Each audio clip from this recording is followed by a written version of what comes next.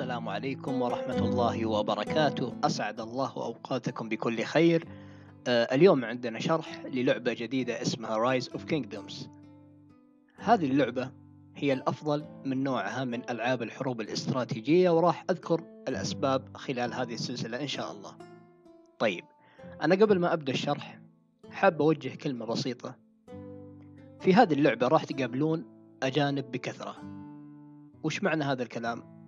يعني أفكار مختلفة معتقدات آه، ثقافات كل شيء مختلف عنك تماما فأنت كلاعب مسلم عربي بشكل عام آه، لا تقل أدبك ولا تسيء ولا تعطي يعني صورة سيئة عنك وعن دينك وعن مجتمعك وتسمح للآخرين أنهم يقلون أدبهم عليك فهمت؟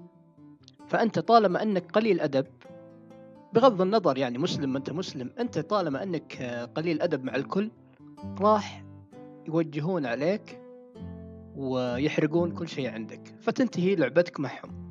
فتخيل أنك تبني تبني تبني في اللعبة هذه بعدين آه، تصير مشكلة أو خلاف مع أي أحد منهم فيقوم يحقد عليك يوجه عليك اللاعبين.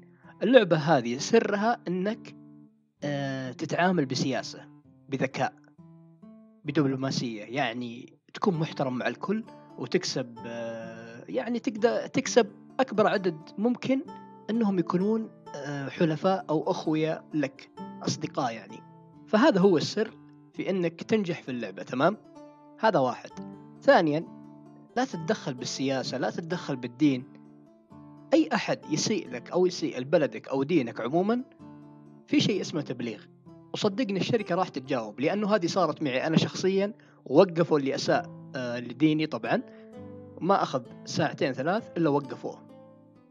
وما كنت صر... كنت صراحة يعني منصدم يعني كيف آه بالسرعة هذه لأنه غالبا الألعاب اللي لعبتها قبل آه عندهم خدمة العملاء جدا سيئة. فخدمة العملاء هنا ممتازة. طيب الآن نبدأ الشرح ونقول بسم الله.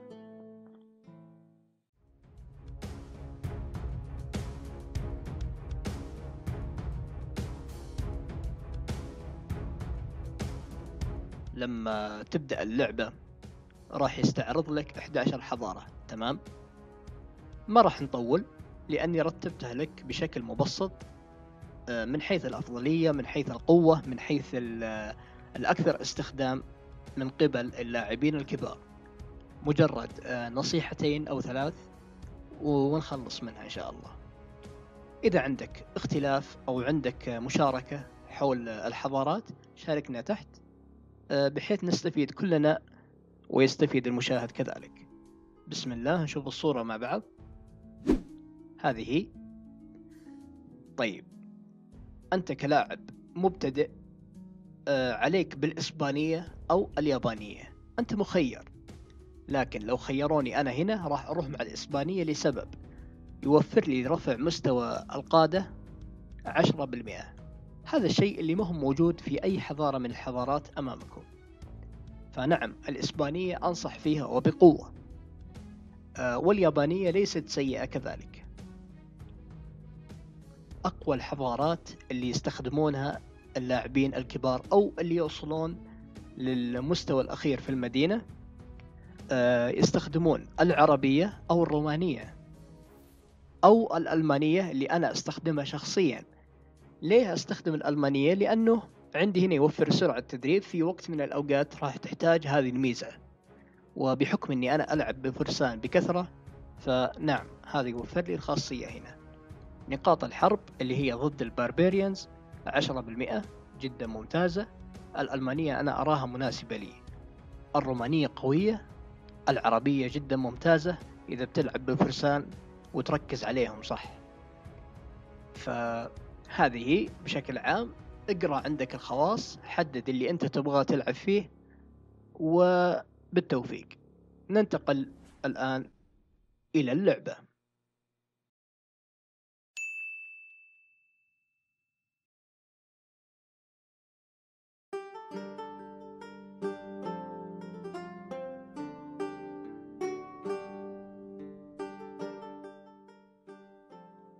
لما تخلص من الجولة التعريفية للعبة راح يطلع لك شكل المدينة من الداخل بهذا الشكل. وراح يوفر لك ويوفر لك حماية مدتها يومين. آه، لكن أنا لأني وقفت التسجيل لفترة طويلة فطارت الحماية. عموما مبدئيا القائد والتحالف والحقيبة والحملة راح يكون لها مقاطع ثانية لحالها لأنه يطول الحديث عنها. وما أبغى أضيعك في البداية. فركز معي بالضبط لأني بركز على أبرز الأشياء اللي تفيدك بحيث أنك ما تطيح في الأغلاط اللي طاحوا فيها قبلك وأنا منهم. أول شيء تركز عليه في المدينة ال VIP ال VIP طبعا ترفع مستواك بشكل مو طبيعي من خلال المميزات اللي تحصل عليها هنا.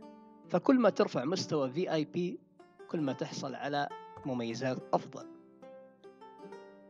تحصل على النقاط مجانية من هنا عدد معين أو تستثمر مجوهراتك وهذه هي النصيحة لي آه هذه هي النصيحة اللي أنصحك فيها أنك آه تستثمر مجوهراتك في شراء النقاط حتى تصل للمستوى السادس وبعلمك ليه. طبعا في ال VIP في صندوق فضي وفي ذهبي. الفضي مجاني يوميا تحصل على موارد ومميزات. أما الذهبي تشتريه بفلوس ويوفر لك قائد آه، ميناموتو في قائد ثاني اسمه هانيبال. هم الاثنين الوحيدين من بين جميع القادة اللي تشتريهم بفلوس. مو معناه إنك إذا ما اشتريتها ما راح تنافس. لا لا في قادة أفضل وفي قادة مميزين يعني عادي.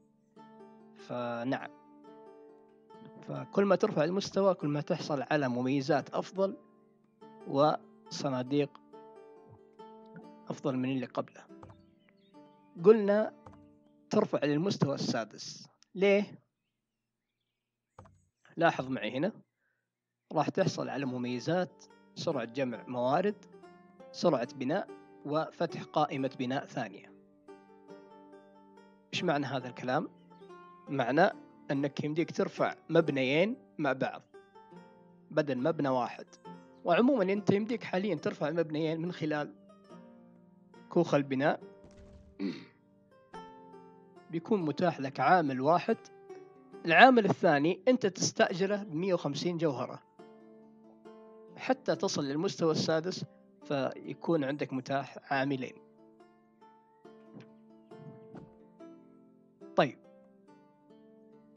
شرحنا أهم حاجة في اللعبة مبدئيا. آه، المباني هذه غير قابلة للإزالة. الشيء القابل للإزالة الوحيد اللي هي الديكورات. ما ودي والله آخذ يعني وقت طويل في المباني في المباني بشكل عام لكن إذا تبغى تعرف معلومات المباني أضغط على المبنى معلومات وبيانات. بهذا الشكل. معلومات. بيانات. انتهى. كل ما ترفع مستوى المدينة كل ما تفتح أشياء أفضل. سواء مباني اقتصادية أو عسكرية. طبعا هذه الديكورات ما تهمك إلا إذا كان تبغى تعتني بشكل المدينة. نعم لكن غير مهمة نهائيا. طيب آه عندنا هنا المهام. هذه هي المهام بشكل عام. احرص يوميا إنك تسوي هذه المهام اليومية. لاحظ معي الجوائز آه، اللي راح تحصل عليها يوميا إذا انتهيت من هذه المهام. هذه جدا ممتازة ومهمة فلا تهملها. طيب. هنا آه مثل ما قلنا متجر التحالف آه عفوا. متجر اللعبة هذا ف ميناموتو طبعا هنا صناديق اللعبة. الصناديق اليومية متاحة لك تشتريها مرة واحدة يوميا. المجوهرات مستودع الدعم وهنا في شيء ممتاز وأنصح فيه وبقوة. أنت إذا لاعب ما تبغى تصرف ميزانية كبيرة بحيث أنك تركز على حاجة واحدة في في اللعبة أنصحك بهذا العرض. هذا العرض الوحيد اللي تركز عليه فقط. ليه؟ 2200 جوهرة عند أول شراء فوقها 650 جوهرة. طبعا هذه 650 جوهرة يوميا لمدة شهر. يعني راح يكون تطورك آه، ممتاز. وغير إنك تنافس في الأحداث الأسبوعية. يعني تخيل هذا أفضل عرض أنصح فيه كل لاعب. دعم التطور هذا لا تشتريه إلا لما توصل المستوى الأخير من المدينة. لاحظ كمية المجوهرات اللي ممكن تحصل عليها بعد كل ترقية. فهذا اشترى في آخر شيء لأنك لاحظ أنت الآن إذا حصلت على هذه المجوهرات استثمرها بذكاء. وهذه راح نجيها بعدين. في المستقبل راح أعلمك كيف تستثمر المجوهرات هذه. فحاول إنك تكون ذكي ما تلعب بالمجوهرات كثير. حلو. من هنا هذه هي الأحداث الأسبوعية. جدول الأحداث الأسبوعي موضح لك. وهذه هي الأحداث موجودة تحت. حلو. الآن خلينا نروح هنا. من هنا تغير اسمك. ومن هنا الصورة إذا تبغى صورهم هم. أو إذا عندك في الألبوم صور. أنت حر يعني. البرواز. معلومات المدينة. إذا وصلت المستوى الثامن راح يفتح معاك هذه. هذه مميزات القادة اللي تبغى تعطيهم. القوات الحالية في المدينة. طبعا هنا التحالف. آه القوة الحالية كم عدد اللي قتلتهم آه حضارتك الحالية. آه نقاط الحرب. طبعا هذه تستخدم ضد ال barbarians. لاحظ معي هنا.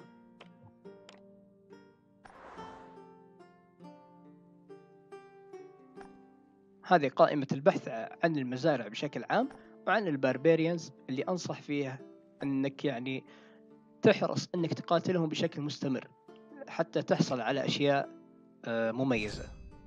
خلينا نشوف. لاحظ كيف نقص معي هنا. ترتفع تلقائيا كل 36 ثانية تعطيك نقطة أو أنك تعبيها من هنا. يعني عادي جدا. خلينا نشوف.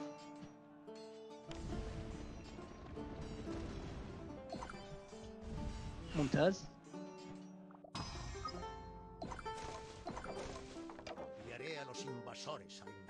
طبعا قتال البربريانز يعطيك خبرة وتحصل على هدايا.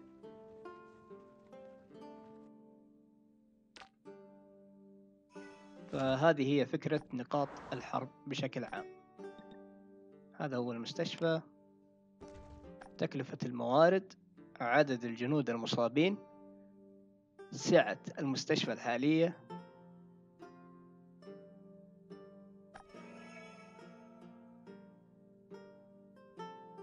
هذه هي الفكرة بكل بساطة.